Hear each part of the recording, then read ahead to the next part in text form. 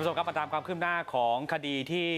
น้องนะครับเป็นเด็กหญิงวัย7ขวบเท่านั้นนะครับปาเงินเนี่ยไปร่วมกิจกรรมที่งานแฟร์แห่งหนึ่งนะฮะแล้วก็ไปถ่ายรูปถ่ายรูปอยู่ดีเนี่ยแต่ว่าสายไฟมาระโยงระยางออกมานะครับปรากฏว่าก็เหมือนกับว่าเขาก็ไปโดนไฟช็อตในซุ้มไฟนะครับในงานที่คนเนี่ยพลุกพล่านเหลือเกิน แล้วปรากฏว่าถึงตอนนี้อาการน้องเนี่ย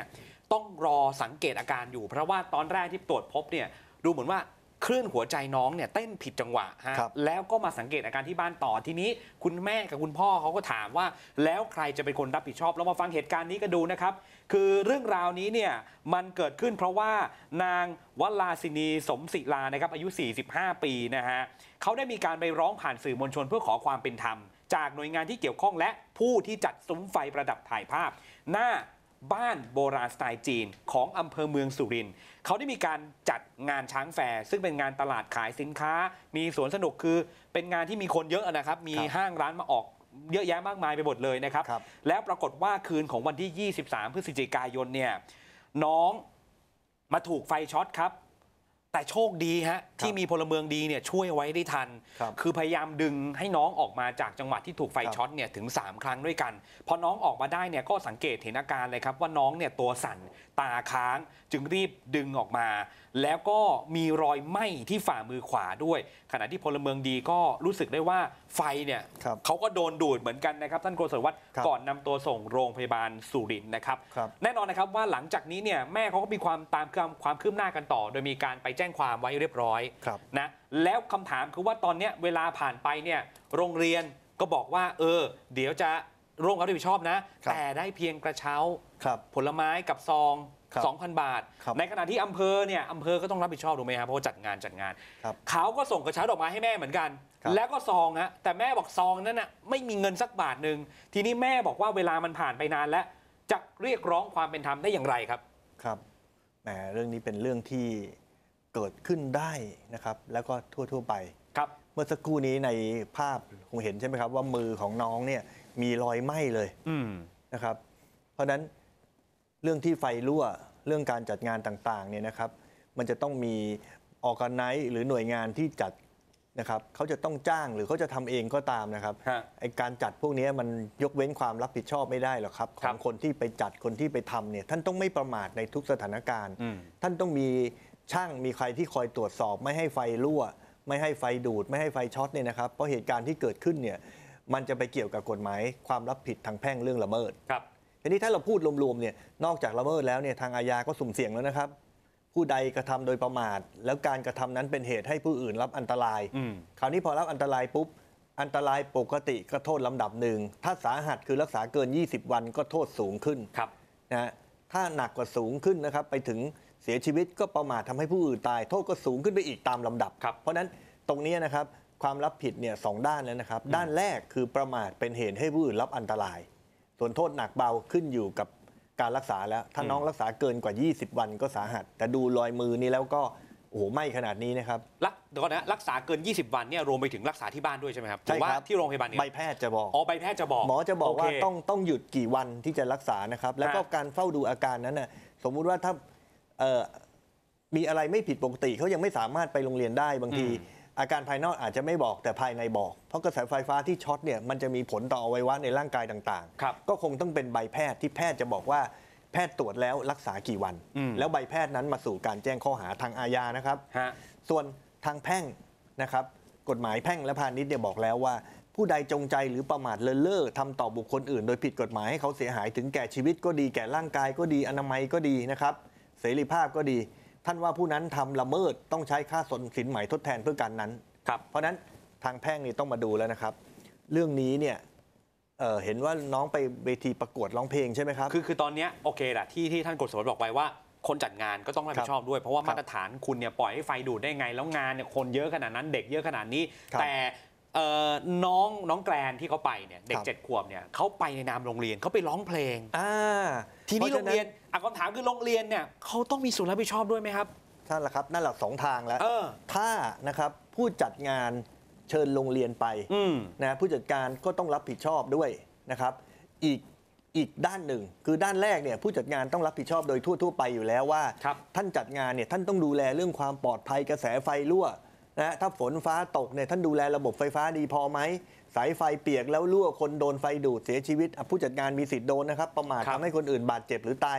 ว่าไปนะครับ ตามสิ่งที่เกิดขึ้นขณะเดียวกันโรงเรียนเนี่ยครับถ้าพาเด็กไปประกวดร้องเพลง โรงเรียนก็มีหน้าที่ต้องดูแลเด็กนะครับ ให้ปลอดภัยเสมอ เพราะฉะนั้นอืมความผิดฐานละเมิดเนี่ยนะครับมี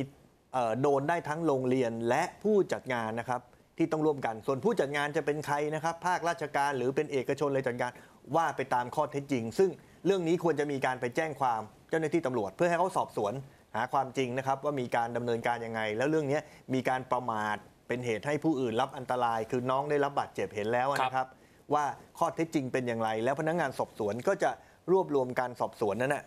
ถ้าเป็นความผิดฐานประมาทเป็นเหตุให้ผู้อื่นรับอันตราย ก็จะดำเนินคดี รวบรวมหลักฐานส่งพนักงานอายการ พนักงานอายการก็จะเอามาดูครับ แล้วก็พิจารณาไปถ้าต้องฟ้องพนักงานอายการก็จะให้เรียกค่าเสียหายให้น้องด้วยนะครับ เพราะฉะนั้นในชั้นนี้แนะนำคุณแม่ผู้ปกครองครับว่าครับที่ที่ได้แจ้งความไว้แล้วนั้นน่ะไปตามที่สถานีตำรวจ ว่าเจ้าหน้าที่ตำรวจได้ดำเนินการไปถึงขั้นไหนนะครับ หรือถ้าไม่แม่ใจมั่นใจ ผมแนะนำครับ เดินเข้าไปหาอายการจังหวัดคุ้มครองสิทธิ์ใกล้บ้าน นะครับคุณแม่ไปเลยครับ บอกว่าดูรายการหมอความมหาชนนะครับ แล้วก็ผมแนะนำให้มาพบท่านอายการจังหวัดคุ้มครองสิทธิ์ ไปขอความรู้ว่าเราจะเดินต่อยังไง เราจะไปสถานีตำรวจไปติดตามเรื่องนะครับ แล้วก็เรื่องจะต้องดำเนินการอย่างไรเผื่อในรายละเอียดเรามีเวลาคุยในรายการน้อย ทางอายการจังหวัดคุ้มครองสิทธิ์จะได้ให้รายละเอียดคุณแม่อย่างครบถ้วนใช้เวลายาวกว่านี้นะครับ ทีนี้ข่าวเมื่อกี้เนี่ยต้องขอบคุณชื่นชมนะครับครับ พลเมืองดี อ่าโอ้โห ใช่เลยคุณฟุกโอ้โห เขาบอกเขาเห็นน้องยืนตัวสั่น เออสังเกตได้ดีมากนะครับ ใช่ไหมฮะ แล้วใช่เขาครับ เข้าไปดึงกระชากน้องออกมาจนพลเมืองดีบอกว่าเขายังรู้สึกว่าไฟดูด เออ ท่านผู้ชมครับ บางครั้งเหตุการณ์อย่างเนี้ย พอเราเห็นอย่างเนี้ยอย่าเพิ่งไปโกรธนะครับพลเมืองดีบางคนเนี่ยเขามีความรู้อืม เขาอาจจะไม่ได้เข้าไปดึงน้องโดยตรงค่ะเขาอาจจะผลักอืม นะลักษณะถ้าผลักเด็กบางทีเรามองเฮ้ยไปทำร้ายเด็กหรอไม่ใช่ฮะนะครับ นั่นคือการทำอะไรก็ตามที่ให้ตัวเองเนี่ย หลุดพ้นจากกระแสไฟที่มันรั่วด้วย หรือโทษทีนะฮะบางบางบางท่านอาจจะเคยเห็นคลิปว่ามีการถีบเลยก็มีเพราะว่าเขาต้องการให้สลัดออกจากการถูกไฟดูดจริง ครับ ๆ ไม่ใช่เขาเจตนาที่จะทำร้ายนะครับ แต่ต้องการเพราะช่วยว่าชีวิต เชื่อว่ารองเท้าเป็นฉนวนไม่ให้ไฟฟ้าใช่เนี่ยครับดูดพลเมืองดี ใช่ครับแต่พลเมืองดีบางคนก็อาจจะดึง เอาผ้าพันมือหรือเอากระดาษหรือเอาสมุด ฮะ อย่างนี้นะครับถ้าเราอย่างนี้เราก็ปั๊บก็ไปอย่างนี้ฮะ นะครับ เพื่อที่จะให้ เด็กเนี่ยปลอดภัยอืมแต่พลเมืองดีรายนี้ท่านสังเกตดีมากชื่นชมนะครับ ท่านชื่ออะไรผมก็ไม่แน่ใจในรายละเอียด แต่ฝากชื่นชมครับว่าท่านมีไหวพริบดี ถ้านานกว่านั้นเด็กอาจจะได้รับอันตรายมากกว่านี้ หรือว่า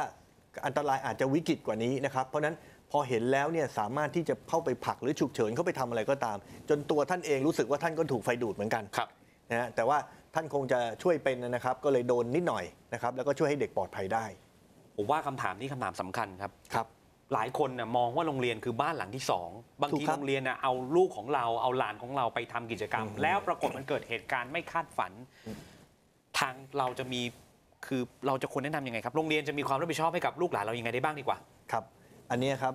ต้องฝากเลยครับท่านครับอืมวันนี้เราเข้าสู่สังคมที่เรามีลูกคนเดียว หรือลูกสองคนฮะคนอีกกลุ่มหนึ่งกำลังคิดจะไม่มีลูกแล้วนะครับ เพราะฉะนั้น โรงเรียนคือที่ที่จะฝากแก้วตาดวงใจของคุณพ่อคุณแม่ไว้ครับ เวลาเด็กกลับบ้านเนี่ยนะครับเขาไปอยู่กับคุณพ่อคุณแม่ที่บ้าน แต่เวลาเด็กอยู่ที่โรงเรียนเนี่ยนะครับ ยิ่งโดยเฉพาะยุคลูกคนเดียวนะครับ เด็กจะมองคุณพ่อคุณแม่จะมองว่าคุณโรงเรียนเนี่ยคือพ่อแม่ผู้ให้อนาคตเด็กอืมนะครับ ผมอยากให้โรงเรียนเนี่ยนะครับอาจจะต้องเปลี่ยนวิถีแล้วก็ดูรายการของเรา แล้วนำความรู้ทางกฎหมายต่างๆเนี่ยมาช่วยกันครับ เราต้องระวังให้มากกว่าที่จำเป็นต้องทำครับเพื่อไม่ให้เกิดเรื่องขึ้น ท่านครับ พอยุคลูกคนเดียว โรงเรียนจะถูกคาดหวังจากสังคมสูงนะครับ อะไรก็ตามที่เกิดขึ้นกับครูกับพระกับหมอกับตำรวจ อาชีพที่สังคมคาดหวังตอนนี้ถึงอายการแล้วนะครับ เราจะเสียหายเสียชื่อมากอืมแต่ถ้าเราระวังช่วยกันระมัดระวังดูรายการแล้วเอาไปเก็บเป็นความรู้นะครับทำยังไงให้คุณครูช่วยหามาตรการ นะครับระมัดระวังเด็กนะไม่ให้เกิดเรื่องนั่นแหละครับ จะทำให้โรงเรียนของเราไม่เสียชื่อ เพราะว่าอาชีพของพวกเรานะครับคืออาชีพที่สังคมคาดหวังครับ ต้องระวังด้วยนะครับภัยที่มันใกล้ตัวจริง ๆ นะครับ เรื่องของการไปเที่ยวงานแฟร์หรือว่างานแบบนี้เนี่ยบางครั้งการจัดงานอาจจะไม่ได้รับมาตรฐานที่ดีเพียงพอ เรื่องระบบการตัดไฟก็สำคัญเหมือนกันหรืออยากฝจะนให้ตกน้ำพาไฟใช่รั่วครับครับ อยากจะให้ผู้ประกอบการหรือว่าผู้ที่จัดงานนั้นใส่ใจในตรงนี้ด้วยนะครับไม่อย่างนั้นอาจจะเข้าสู่กระบวนการยุติธรรมแบบนี้ก็ได้ครับนะครับเอาละครับเดี๋ยวพักกันครู่หนึ่งช่วงหน้าเรามาตอบคำถามที่ผู้ชมถามมาในเพจ Facebook บอกความมหาชนกันหน่อย ว่ามีข้อกฎหมายไหนที่จะให้เราได้พูดคุยกันบ้างนะครับติดตามช่วงหน้าหมอความมหาชนครับ